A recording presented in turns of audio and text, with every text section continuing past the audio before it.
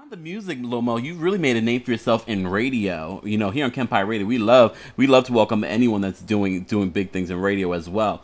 How did how did you get involved in radio? Um, I used to watch a lot of Martin Martin Lawrence, Mm. and so one of my friends, she had became the uh, the program director of she was the program director, assistant program director of a station.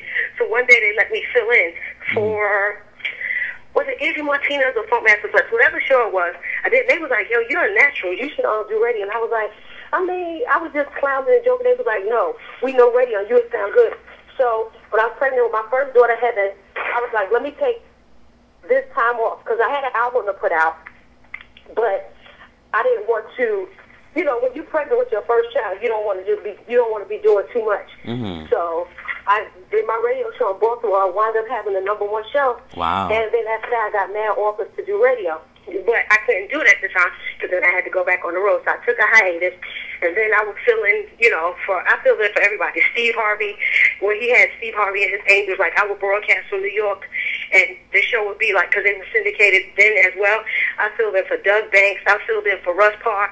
I filled in for Funkmaster Flex. Like every show that you could think of that would possibly be amazing, I've had the chance to, you know, be a part of that. And that's like a blessing because I didn't go to broadcasting school. Like everything I do, I just, what's a, I'm a person that can, I don't sell wolf tickets. Whatever I say I could do, I'm gonna do it. I'm a deliverer. You know what I mean? I'm a person that when I put my heart to it, oh, it's gonna get done. Mm. And then we're gonna come in with good ratings. So then, when um, I did the show in DC, they the station was really struggling.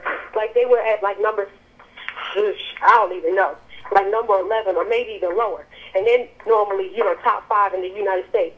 By the mm-hmm. time my one year contract was up, my show was the number two show. The only person beating me on air was Ryan Seacrest. Oh wow.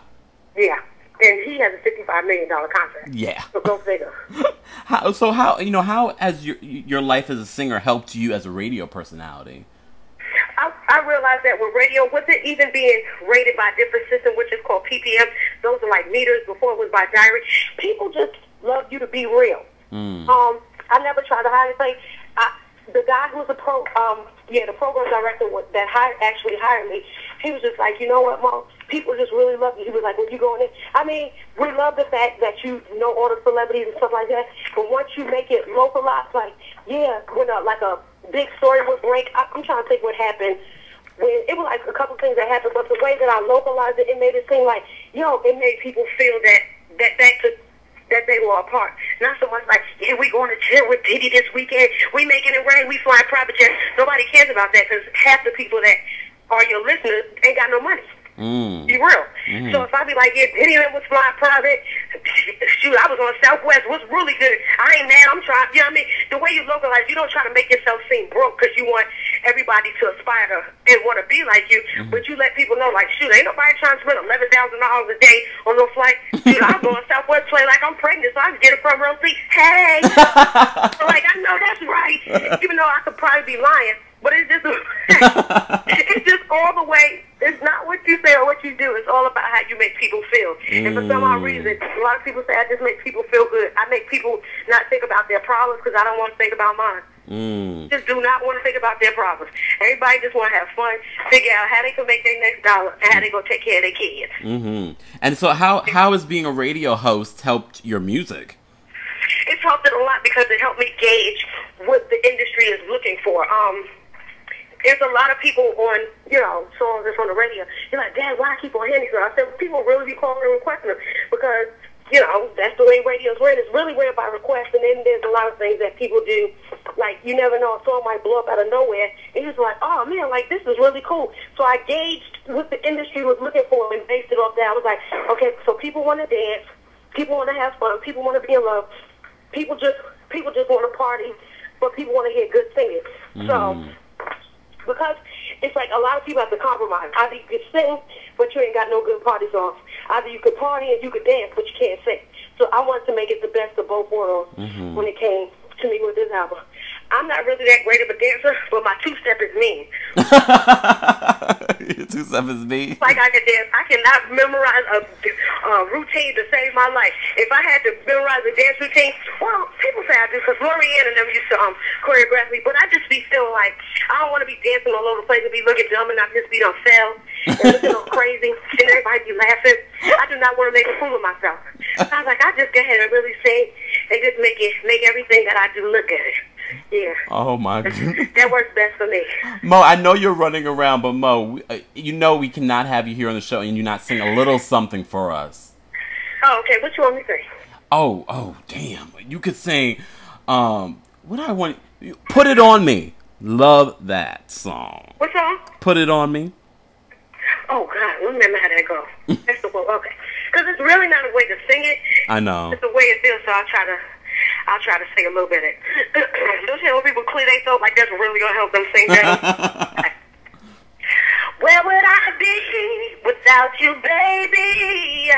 So if you need me, if you want me to put it on you, because I love you, and don't you forget it. Whenever you need me, if you want me to put it on you, come on,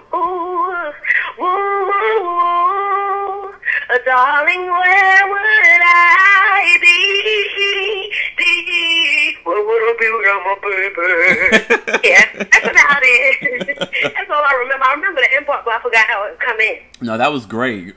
Lil Mo, before we let you go, a couple, uh, just a couple more questions. First of all, what is the one question? This is one of my questions I always ask everyone. What is the one question that you've never been asked but you wish people would ask? Hello? Yeah. Say it again. Sure. What is the one question you have never been asked and you wish people would ask? Um, hmm. Let me see. What's the one question I've been, hmm. Why did I, no, because people, would just ask- people just ask me anything. Um, what? Uh, here's one question. Uh, if uh, why didn't I never get a lip reduction? oh, damn. I can't. I can't think. Of, I really can't think. There's nothing. I don't think I've ever been asked. People have asked me anything, and I, the shade is is that I answer it. But um, I can't think of anything. Um, people have never asked me why haven't I been one of them girls that haven't went natural. Child, I ain't shaving my hair all off and be looking like a big old head monster. No way, won't catch catch me slipping. I just got a 22 inch weed put in my hands. Yes, and I'm gonna fling it this weekend like never before. and you know, here at Kempire Radio, we, we celebrate up and coming talent. We you know it's probably one of the number one uh, online radio shows that celebrates up and coming talent. What advice would you give um, up and coming singers that are trying to break into the business and maintain, a, a, you know, have the same way you've maintained in this business? just handle your business. Realize that this is business. This is not fun. This is not games. You know, it is fun and games. This is business. And if you, as long as you remember that, you'll never go wrong. Trust me. I learned the hard way. Thinking, oh, that's my friend. Oh, that's mine. Then be like, uh, yeah, uh, well, uh, yeah, we can't clear the song. But then just realize that everybody just because they can't do a song with you or because they label won't play it don't mean that they don't rock with you. You know what I mean? Mm-hmm. It's just like, and just just be a go getter. You just can't never stop. I can take hiatuses because I've written songs and stuff like that, and I know when to disappear and come back because I don't want to oversaturate. Even though people say there's no such thing as overkill, yeah, I think there is. Like there's some people. Then you don't ever want people to miss you, and then when you come back, they be like, "Why didn't you keep your ass where it was at?" Oh, damn. I don't trust me. People are just with all this um you know, social media stuff, people will let you have it. I'll be reading some stuff and I'll be giant over what I see. And half the stuff I can't retweet and my PR family be like, make sure I mean, no, it's okay if you be messy, but just keep it clean. You don't ever want to look like I'm like, I don't care. I don't but then I was like, Yeah, you're right, I can't do that. Trust me, I be wanting to go all the way in, but I just take that for behind the scenes for me and my people because I don't want anybody to ever think that I'm spiteful of hate because there's not a bone of hate in my body. I just like to have fun and I just like to tell it like it is. So if somebody looks, sounds, or even if I look or sound a mess, I would want somebody to tell me. See, that's the problem. I heard um Charlamagne um telling uh Lil Mama that, and I don't think he was trying to go for his. He's just very you know, up front, I know who he came up in under, you know, when he was in radio. Mhm. I'd be like snappy and get people to listen. Nobody means any harm. I'm like, you ain't paying my bills. So I don't think he meant to make Lil Mama cry or make her feel some type of way. But he told her, he said, I'm going to tell you straight up, like, there's a lot of people that be in people corner that lie to them because they think if they lie to them, that'll help them keep their job. I'm mm-hmm. like, nah, tell me the truth. If I look crazy, well, you know what I'm saying, don't say it hating when I know I when I know I'm jamming. But if I look and sound crazy, tell me. Because be sometimes people like, oh, you killed. And I'll be like, I don't think I sounded that good on that. But if you say so, but then there's sometimes I'm my worst critic where I think that everything has to sound perfect. Like, nah, the way that song felt, you just like, you just took me in. I'm just like, oh man, that's what's up. So, you know, you take the bitter with the sweet. Mm-hmm. And Lil Mo, before you go, we have to get a radio drop for you. Any unique way that you want to do it. Okay. Just- Just, Kempire Radio. Yeah, just don't mention Karma Chameleons because that's not copyrighted for you. okay, you ready? yes. Hey, what's up, world? It's your girl, Lil Mo, aka the Godmother, aka the Superwoman, aka the Milk, aka Act the Lil Mo Show, Facebook.com slash Lil Mo Show. Everything is the Lil Mo Show, and I'm chilling on the Kempire Radio Show. Why? It's always because that's my baby. And I declare this day that you continue to listen. Why? If not, I hope your ears fall off in the toilet and you flush it down. Never mind, I'm just kidding. Yeah, Kempire Radio, that's how we do, baby.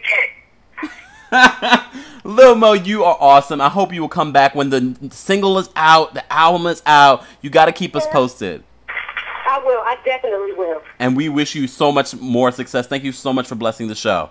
You're welcome, babe. Have a great night. You too. Bye. Bye.